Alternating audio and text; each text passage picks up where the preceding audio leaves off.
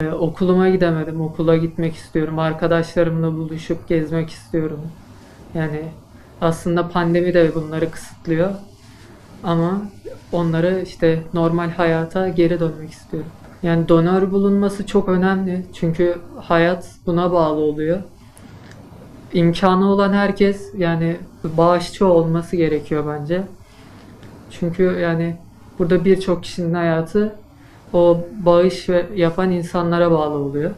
Sağlık ekiplerimizin e, yoğun çabası ve emekleri sayesinde e, çok şükür ilik nakli oldu ve e, çocuğum sağlığına kavuştu. Önemli olan burada e, donerin bulunabilmesi. E, bu çok önemli. Şimdi öncelikle nakil için e, kardeşleri düşünüyoruz. Çünkü kardeşler en iyi sonuçları veriyorlar nakilde. Eğer kardeş yoksa aile içine geçiyoruz. Anne, baba, diğer akrabalar. Eğer onlar da yoksa bu sefer akraba dışı nakil yapmaya başlıyoruz. Biz genellikle bu nakil için e, gereken e, vericileri Türkök'ten buluyoruz. Türkök bize sağlıyor. Eğer Türkök tabanı içinde böyle bir kişi yoksa Türkök kanalıyla yurt dışı e, kemik iliği bankalarına e,